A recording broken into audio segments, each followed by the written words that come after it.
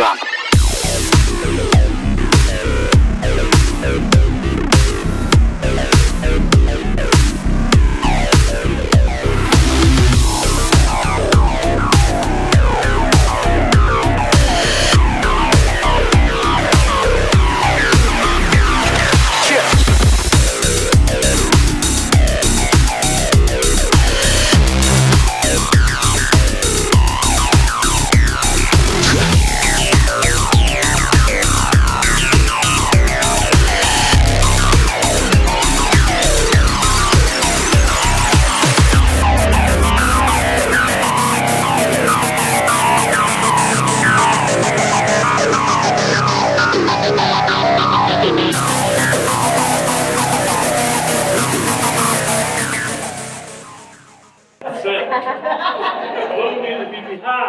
Up next, Miss Amber Hamlett.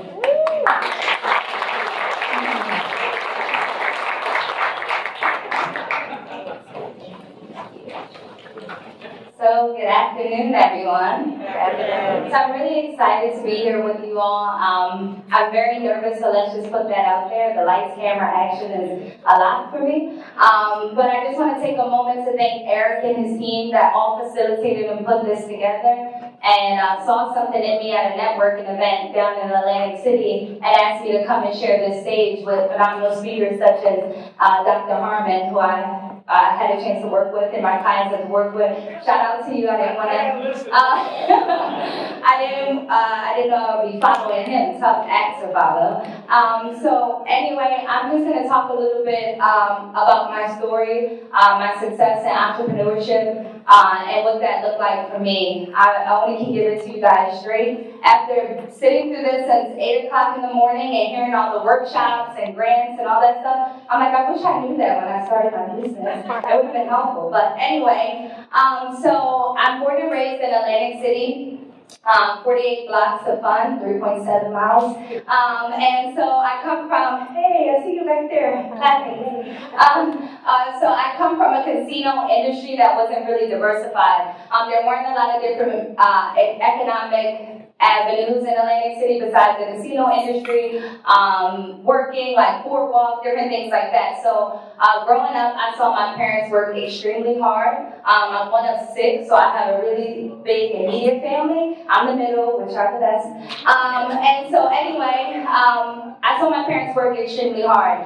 And so I didn't know exactly what I wanted to do, but I know I wanted to do something. And the path that I saw was working. So, you know, you go to school, you go to high school, and then you get a job. That's all I had known. And so, um, when I went to high school, I got involved in sports, and I met my first mentor, um, which was my guidance counselor, who ironically, her husband, a networking event in Atlantic City closed in the summers, where I met Eric and his team. And she was my guidance counselor at the Atlantic City High School, and she encouraged me to apply to college.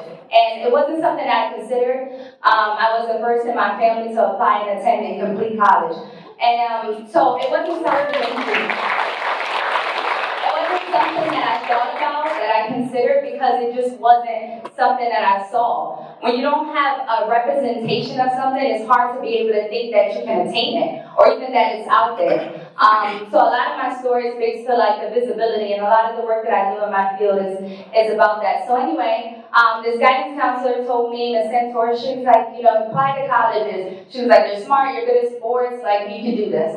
And so I did. I ended up um, choosing to attend Rowan University, which was only 45 minutes from me, but to me it seemed like I went across the country. Um, I had never gone outside of the 48 blocks that what I've known. I had never um, been away from my parents who are here now. They stick with me. They're my team. And so for it was extremely difficult. Um, I didn't have the background of having experience like siblings or parents to tell me like this is what to expect in college. This is how you uh, create a work-life balance. I come from humble beginnings, and so I had to work all through college. So I didn't. Um, I didn't have that like experience and support to drive me. What drove me was my family, how hard my parents worked. What drove me was seeing that there was like not a lot of young people that looked like me that were in positions and doing things, and our voices were not being heard where I was from. So that drove me. Um, I started at Rowan University and I met with my EOF counselor. And um, she was like, Amber, what are you interested in? And I was like, uh, I don't know. I always liked fashion, but again, in coming from Atlantic City, I didn't really see a lot of people in the industry. You had to go to Philadelphia or New York City, and I was like, whoa, big dreams not for me. Um, so I, you know, just kind of didn't really know what I liked. I had my family members. My mom had always been really involved in the community um, with startups as like a coalition for a safe community, doing community walks, give backs, and stuff. So I was always dragged along to these things. wasn't always fun. Um, and so in, be, in doing that, it laid a platform and a foundation for me of giving back, of being in service, of being a part of the conversation, of hearing what these people that were much more intelligent than I and much more experienced than I uh, had to say. So that was a foundation that was laid for me. So I started to talk to my EOF counselor and I was like, you know, I like talking to people, I like networking, you know, I don't know. Um, and she was like, well, why don't you try studying communication? And so I took up the field of communication studies. I've always, I always been really ambitious, so I double majored in advertising and journalism, um, double majored in advertising and PR, and minored in journalism because um, I like to write. And I was doing really good. Everything was seeming to go well. I was doing okay in my classes. I was like, C's, get degree student, you know? Um, and so I, I was fine with it. And um, the sophomore sophomore year, while going into my junior year, I found out I was pregnant with my son. And 19-year-old Amber Hamlett um, realized that like things would change, and I had to make a tough decision. And at that time, I had already felt that I had a lot of obstacles against me to be um, the first in my family. I, had, I felt like I had a lot of weight on my back to carry, to make it through and to be successful. And um, I didn't know what decision I was going to make, but after talking to my family and, you know, having their support, I decided to go forward with having my son. And so, um, God has a funny way of doing things. Um, I realized that I would uh, be giving birth to my son in September, which is fall semester. I knew that if I was going to be successful, that I couldn't take a break because taking breaks, that I would get caught up into the day to day and the work life. And I had a bigger dream. So I did take a break. I gave birth to my son September 18, 2013. I was enrolled, I transferred from Rowan to be online. I was enrolled in six classes online and working two jobs. Mm. Um, yeah. it was um, so uh, at that time, you know, I didn't realize because what happens is I heard Eric say, say it and I heard Dr. Harmon speak to it about a team. That sometimes your team is, you know, not the people that like you hire you work with in your company and you eventually get there, but your team are your parents, your team are your siblings, your team are your friends that like believe in something. I'm sorry, I get emotional because this is like real. Um, but like your team are the people that really kind of keep pushing you forward when you feel like you can't.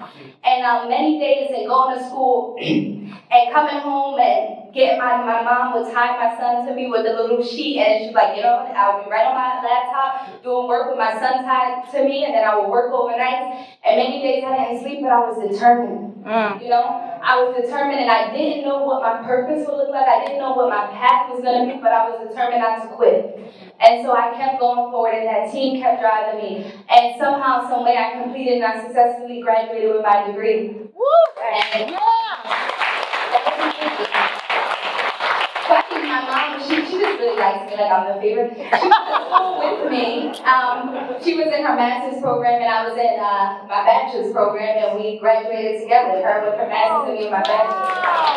And um, so you know, when I graduated, when I graduated, um, I didn't quite know what I was going to do. At Stockton University, which was Stockton College then, um, I had started a, a small public relations consulting firm called StockPro, where we offered PR services to local nonprofit organizations that couldn't afford marketing or PR. We took them on pro bono, um, and I started it up. I was the president and founder until I graduated. And so in that, I found this passion for like helping people in the marketing space. I realized that like a lot of businesses didn't see the value in PR marketing, um, didn't have the disposable income um, to be able to pay someone to do those things. And so um, I wanted to help. Again, I wanted to be a part of something that like I could walk into rooms with people and be like, you know, I'm from these 48 blocks. You know, I had something to say, I had something to give, and I became an expert in what I did. And what that was was connecting the dots, realizing who needed to be in the room with who, um, why they needed to be who's who's. I will always uh, invite myself to places where um, most people didn't invite me, but because I would just come there and um, and I, I made myself a seat at the table. There was not one created for me. Um, and so in that, in my journey, I got a call. Um, I was working at Rowan College in South Jersey at the time, one year out of uh, graduating college. And again, there were no real opportunities with my degree in Atlantic City or in the areas. And um, that was another reason why I wanted to plant myself in Atlantic City and kind of give back because I couldn't find a job. Every time I would interview, when I had a phenomenal resume, I'm not just saying that really is good. Um, I, every time I would interview, they would say to me, you um, don't have enough experience. And I would say, well, how do you intend on me getting experience if you don't give me?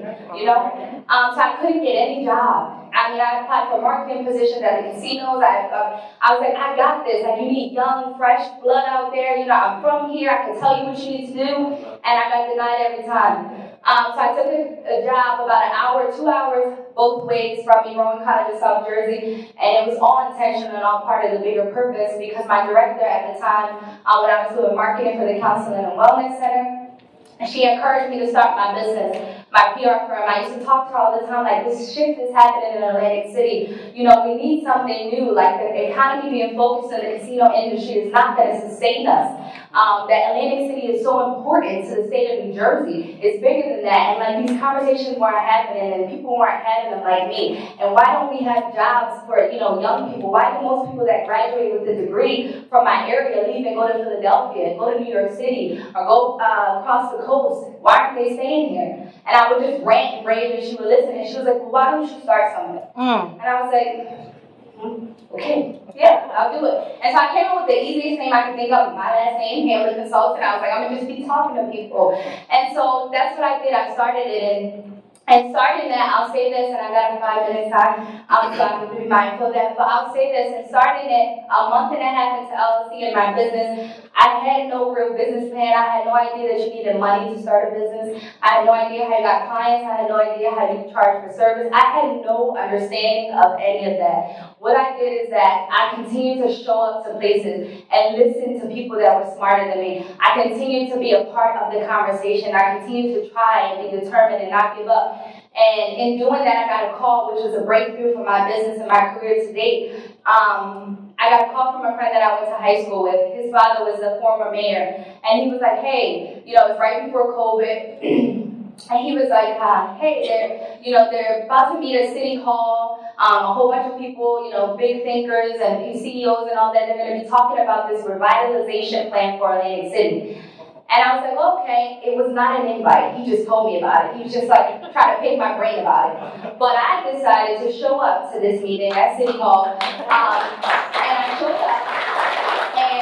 It was the CEO of casinos, it was the presidents of colleges and universities, it was the owners of all the real estate in Atlantic City, it was the uh, late Lieutenant Governor Sheila Oliver, wow. it was um, the Jim Johnson who took a dollar salary to work on a revitalization plan for Atlantic City. All these people were in the room. I didn't know who they were at the time, but they all were in the room. And um, I sat there in the back, kind of trying to hide, and they were all talking about what are we going to do with Atlantic City because it's so important to the economy of the state of New Jersey. And I was like, these people get it, like I'm where I'm supposed to be. Um, and on my way out, I tried to skate out and my friend Elijah had told me, he was like, I want you to meet this guy named Joe. And I was like, okay, he still didn't give me any background on it. So on my way out, he pointed him out. I introduced myself um, to a gentleman named Joe, who ended up being my first client in my business a month and a half deciding Joe Jingoli, business mogul and the construction industry, uh, casino owner. He had just bought and taken on uh, Hard Casino, and he was my first client at the time.